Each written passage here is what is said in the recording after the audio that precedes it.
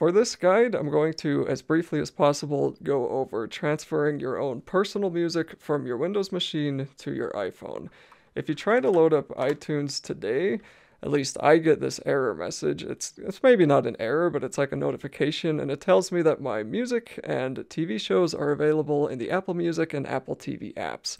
You click OK and it brings you to a lesser iTunes than we had before.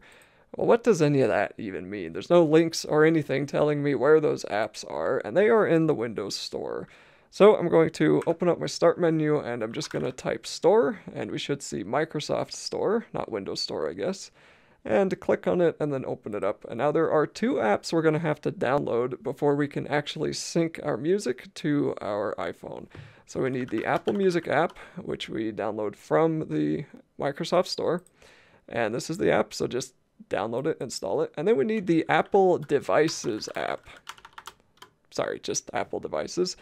And this will install for you. I've had an eternal update that won't go through, and as we can see, there's a 2 out of 5 star rating, so we kind of know what's in store for us.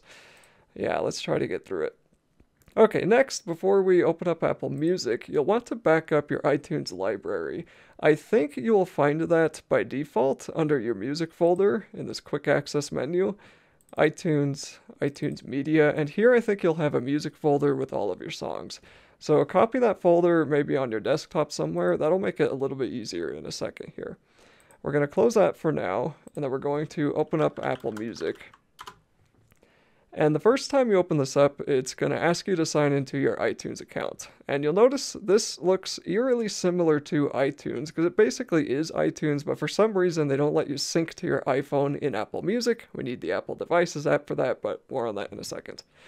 Now we need to pretty much recreate our entire music library in the music in the Apple Music app and that's kind of annoying because this uh, this library is going to completely replace the iTunes library that we had on our iPhone. The two will not talk to each other, they will not merge together.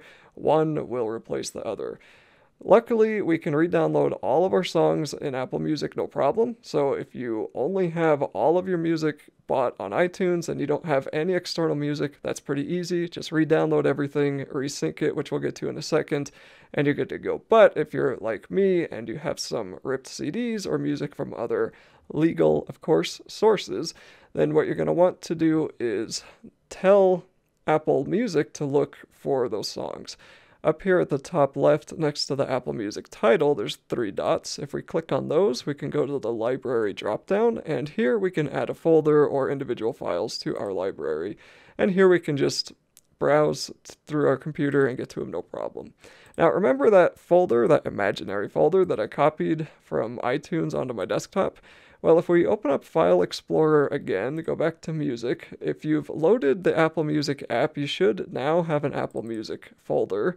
So under Apple Music, and then Media, and then Music, here we can put all of our songs in a more permanent location. So, small side note, when I was transferring some of my music to Apple Music, I was realizing it wasn't showing up. So here I have a couple of songs from Bach. They're all in FLAC. And if I just search for this album name, which is Musopen, uh, open, and if I drag this in here, we'll see nothing pops up. If I come to songs and then I search for Musopen, drag it over here, nothing pops up. Now, anyone who has been dealing with iTunes for a while probably knows FLAC is not supported on Apple devices. We have to convert it to ALAC. Uh, I decided to use a program called MediaHuman for this, and there's a million different programs that serve this purpose for you out there. There's no reason to use MediaHuman, you can use whatever you want, but this one was the first one I found that was free, so that's why I'm using it. And we're going to drag our music files into here.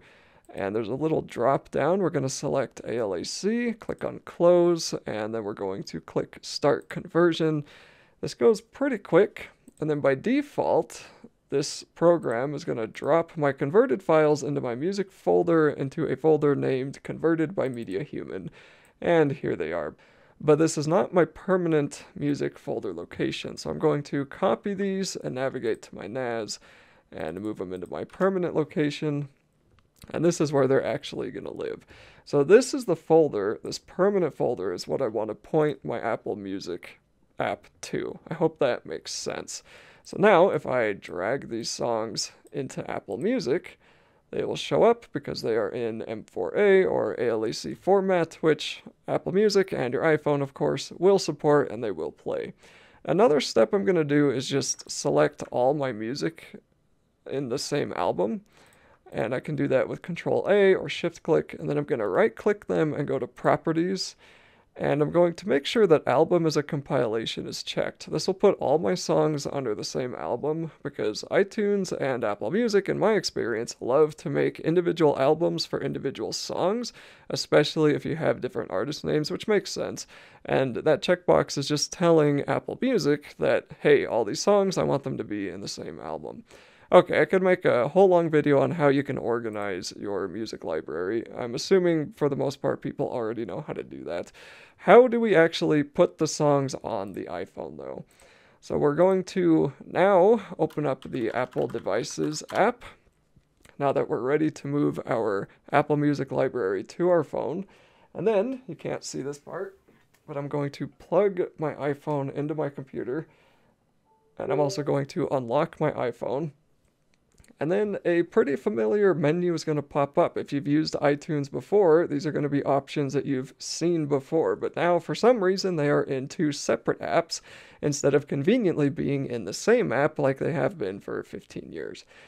Uh, one thing I do want to uncheck is automatically sync when this iPhone is connected because I only want it to sync when I tell it to sync. And then we're also going to make a backup because we are about to mess up a bunch of data on our phone. So just back up your iPhone, be safe.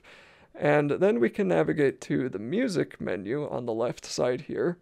And we want to sync music onto our iPhone, and we want to sync the entire library. It doesn't matter which of these two options you choose, your Apple Music library is going to completely replace your old iTunes library. And once we are ready to sync, we can click on sync, and then we're going to click on skip backup, which sometimes doesn't work. And your iPhone may ask you for your PIN, so you know that it can trust this computer. And we'll see if it actually skips the backup today. It actually skipped it, and then it's going to wait for the changes to be applied, and there we go. It copied over my Bach, and now I'm going to double check on my iPhone. You can't see it, but I can, and my music has successfully been placed onto my iPhone. So as I said earlier, the iTunes app on Windows has not been very good for a really long time. I'm not against Apple wanting to completely get rid of it and replace it with the new modern apps, but because these apps are so new, they are pretty glitchy. This one in particular, Apple devices, oh my goodness, you're going to have so much fun dealing with this app. If you plug in your phone and nothing happens, what you should do is close all the Apple apps, hit Control Alt Delete to open up your task manager, and at the top here, type in Apple and kill any process that has Apple or AMP device agent and then reload the apps, and that worked for me.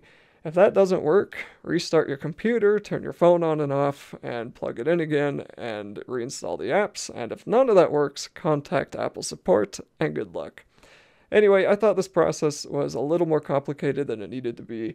Hopefully, this helped out somebody. And once you do get everything working, it's not too bad. I just wish there was a little more knowledge given to us from iTunes that Apple wants us to do it this way and no longer use iTunes. Thanks for watching.